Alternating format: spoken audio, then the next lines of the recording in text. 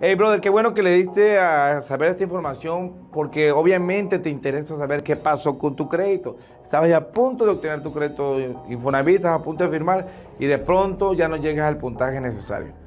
Tenemos que entender que los 116 puntos que antes tomaban en cuenta, tomaban mucho en cuenta solo al trabajador. Entonces lo que hace ahora Infonavit es lo siguiente, dice, vamos a tomar en cuenta dos cosas importantes, la responsabilidad del trabajador, que es esa parte, y la responsabilidad de quien te da el trabajo, o sea, el empleador. ¿Por qué quieren hacer eso, viejo? Porque quieren aumentar tu nivel de crédito. El objetivo es tener más confianza de quién es el que le vamos a dar dinero, dice Infonavit.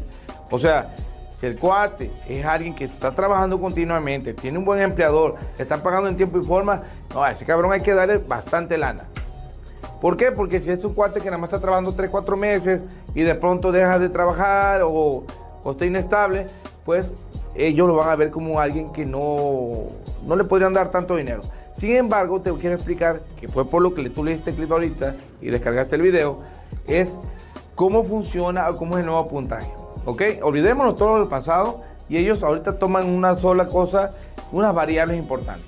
El primero es la edad del acreditado. Aunque ellos en el primer puntaje juntan edad y salario, quiero dividírtelo como, como es uno y el otro, ¿no?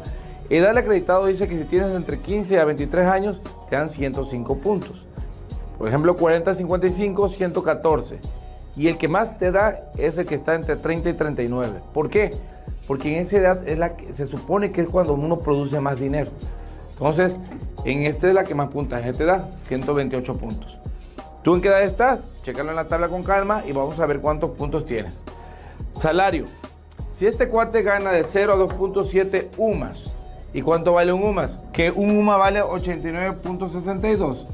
Tú eso multiplícalo por las sumas que tú ganas o divídelo. Alguien que gane tres sumas, o sea, 268 pesos diarios, va a tener alrededor de 128 puntos. Y entre más gane, pues más puntos te dan. Ellos ya se fueron a la segura y dicen que gane más de 4.2 UMAS, de una vez, darle todo lo máximo que podemos darle. Ellos juntan este puntaje del acreditado y salario. Ok, viejo, Punto que sigue es el saldo de su cuenta de vivienda. Pero te quiero explicar qué es el saldo de su cuenta de vivienda. Porque esas preguntas nos las hacen siempre. ¿Qué onda con ese dinero? ¿Lo puedo retirar si quedo desempleado? Bueno, el saldo de su cuenta de vivienda está registrado en tu hoja de Afore, pero solo está la información. No puedes depender de eso porque el saldo de su cuenta de vivienda lo utilizan solo para comprar casa. Entonces, ¿qué significa? Tú tienes 10 años trabajando, viejo. El saldo de su cuenta de vivienda se conforma de la siguiente manera. Se llama tripartita porque está funcionando entre el trabajador, el patrón y el gobierno. O sea que se multiplica, o sea que si tú multiplicas todo lo que tú ahorras quincenalmente por 240, que serían 10 años, tú ahorras un dinero. Ese dinero es tuyo, brother. Es tu su cuenta de vivienda. Recuerda, es el porcentaje que te descuentan a ti de tu dinero que, a ti te pagan quincenalmente, viene, viene tu nómina, a ver cabrón ganó 20 mil y de pronto te descuento, descuento, descuento, descuento, ahí viene el 5% para tu cuenta de vivienda. Y el patrón, eso tú no te enteras, pero el patrón aporta un porcentaje también a tu, a tu de vivienda que tú ni lo sabes, pero también está obligado a hacerlo. El IMSS se encarga de cobrárselo a él y se lo cobran cada dos meses. Y el gobierno, un porcentaje mínimo como de un por ciento que le aporta también a tu cuenta de vivienda. Entonces, entendido esto, Infonavit lo que quiere ver es cuánto ahorro tienes tú. Porque obviamente si tienes una buena cantidad de dinero, quiere decir que has trabajado constantemente y mucho tiempo bien. Entonces yo dice, güey, si este cabrón tiene una su cuenta de vivienda de 200 mil pesos, quiere decir que es alguien que ha estado trabajando en tiempo y forma. Por lo cual, Dicen estos cabrones. Si ese cabrón tiene de 0 a, 10 mil pesos, entonces solo tiene 116 puntos. Pero si tiene 50 mil pesos o más, le dan el tope, 124 puntos. 124 puntos. Entonces, entre más tengas tú ahorrado en tu cuenta de vivienda, más puntaje te dan. ¿Sí? Ese es el punto que tú tienes que tomar en cuenta. Acabas de empezar a trabajar, obviamente vas a tener poco dinero en tu cuenta. Pero si ya llevas rato, va a tener el máximo que te pueden dar. Y después te dicen, ok, este cabrón tiene edad 30-39, está ganando bien su lana, tiene una su cuenta de vivienda bastante buena, pero ¿qué onda con los bimestres cotizados continuos? Este es uno de los puntos más importantes, viejo. Porque ellos dicen, a ver, a ver, lo que yo quiero es que sea alguien que tenga una formalidad de trabajo y que esté cotizando continuamente. Entonces ellos toman en cuenta. Si tú tienes 0,2, dos meses que acabas de entrar a trabajar no aplicas, güey. No te van a dar crédito. Pero por ejemplo, del tercer bimestre ya te van a dar 90 puntos.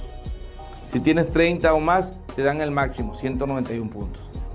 Entonces, alguien que lleva continuidad de trabajo, le van a dar mucho más puntaje.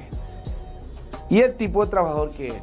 Ok, viejo, te das cuenta que Infonavit ahorita lo que está haciendo es que está viendo, te está viendo a ti en esencia. Te está viendo qué edad tienes, qué salario ganas, qué saldo de su cuenta de vivienda tienes, cuántos bimestres sigues trabajando continuo, que no eres una persona que está cambio y de trabajo.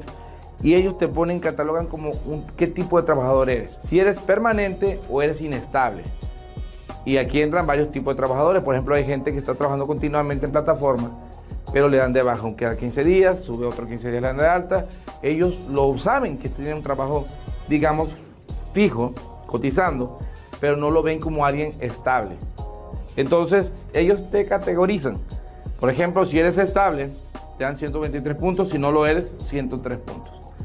Sin embargo, o por ejemplo, meseros, gente que son comisionistas, son inestables y le dan solo 103 puntos. Sin embargo, es bastante bueno. Esta es tu responsabilidad, viejo. Hasta aquí. Ahora viene lo que cambió, la responsabilidad del patrón. ¿Qué es lo que quiere Infonavit? Que ya la gente también escoja dónde trabajar. Es un poquito cabrón porque la verdad muchos queremos donde nos den trabajo, ¿no? Ahora nos están diciendo, oye, ahora escoge dónde trabajar, que también sea un buen empleador. ¿Cómo es esto, viejo? Ellos dicen, si es alguien que la empresa, no tú porque aquí es tu responsabilidad, que la empresa tenga una estabilidad laboral, quiere decir que a su gente lo mantiene trabajando en el mismo puesto, ganando lo mismo. Por ejemplo, si ellos tienen 10 empleados en esa empresa y de eso, de cero a la mitad, mantienen su trabajo, igual, están trabajando con el mismo salario, o sea, 5 siguen igual, entonces te van a dar 91 puntos. O sea, de ahí que, ese cabrón sea una empresa que ande variando, que, quita uno, saca otro, quita el otro. Eh, son 91 puntos que te van a dar mínimo. Ya eso lo van a obtener. Pero si es una empresa que más, punto un por más de la mitad, hasta 66.7, te dan 114 puntos. 66.8 a 8.3, 130 y 83.5 o más, te dan 144 puntos. ¿Qué quiere decir que si tú trabajas en una empresa buena, que mantiene a su gente, que no tiene mucha rotación, que están pagando y cotizando en tiempo y forma, lo van a premiar con más puntaje. Entonces, ahora sí va a valer la pena ver que sea una empresa que te pague todo en tiempo y forma. Por de no hacerlo, sí te va a afectar, viejo. Está un poquito cabrón porque Infonavit está dando herramientas, de hecho. Ahorita tú vas a poder checar en tiempo y forma si te están cotizando bien, te están pagando tu salario. Porque Normalmente el cliente iba emocionado, oye, quiero mi crédito, la chingada. Iban que a la firma y dice, no, güey, no te están pagando tu seguro. Y dice, pero si estoy trabajando. Y obviamente no era tu problema, era problema de la empresa. Ahora Infonavit te va a dar las herramientas para que tú cheques en tiempo y forma si están pagando. Para que obviamente tú hables y digas, sabes qué viejo, esto no, no se están haciendo. Y bueno, ya las broncas que se le armen a ellos, pues ya es bronca de ellos, ¿no? Comportamiento de pago de la empresa. Este es otra también importante, que no depende de ti, sino depende de la empresa. Esto lo, aclaro mucho porque esta parte depende de ti. Pero esta parte de acá depende de donde tú trabajes. Por ejemplo, comportamiento pago en la empresa, si es una empresa que paga, ellos, la van, ellos lo van midiendo. O sea, una nivel 1, que es una que siempre paga bien, le dan el máximo, 125. Pero si es una nivel 4, que es una empresa que se atrasa en los pagos, que no paga, que la chingada, solo te van a dar 85 puntos. Ok, está un poquito cabrón, ¿no? Pero bueno, así es. Ahora también ellos van a ver dónde vives o dónde está la empresa. Y ellos van a categorizar el municipio donde está. ¿Por qué? Es natural que tú quieras vivir cerca de donde tú trabajas. O sea, si estás en Villahermosa, vas a comprar una casa en Villahermosa, no vas a comprar una casa en Paraíso o en, en otro lado. Entonces, ellos ven ese municipio lo van a evaluar, eh, ya lo tienen ellos, no nos han dicho cómo exactamente, pero lo tienen en niveles. Por ejemplo, un top de municipio que sea con toda una ciudad cosmopolita, te dan el máximo de puntaje, 142. Y ellos van bajando en universidad media como Hermosa, te dan 127. Una ciudad chiquita, 123 pueblos, te van dando puntajes más pequeños. ¿Por qué? Quieren que el que esté trabajando en una ciudad bien, que tenga todas las amenidades, que tenga todas las facilidades, pues sea más rápido de conseguir su casa. Un poquito raro, pero son las cosas que están tomando ellos en cuenta. Y el último, el giro en el que se maneja la empresa donde tú trabajas. ¿Por qué? ¿Qué se va a mantener más rápido? ¿Una empresa petrolera que está reventando, que tiene buen negocio, o una empresa que, está haciendo cubrebocas? está reventando el cubrebocas, pero el cubir va a terminar y va a tronar, va a bajar otra vez su nivel. Entonces, ellos van a catalogar al nivel de la empresa, o sea, qué tan, qué tan fuerte o cimentado está esa empresa. Por ejemplo, una, armadora de coche es fuerte, le ponen un nivel 2. Por ejemplo, la Volkswagen tiene nivel 2. Pero, por ejemplo, ponen una empresa que está incursionando en el mundo de, tecnologías nuevas, totalmente nuevas, es algo que no es inestable, y ellos le van a poner nivel 4.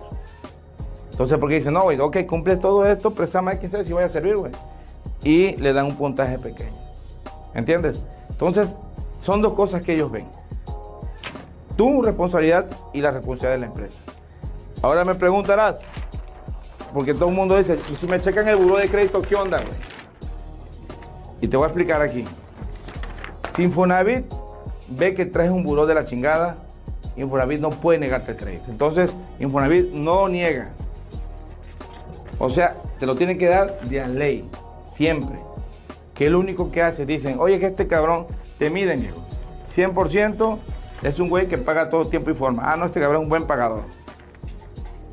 Pero de pronto este cabrón le debe a Copper, pero le paga a Liverpool, o sea que tiene un 90% de cumplimiento.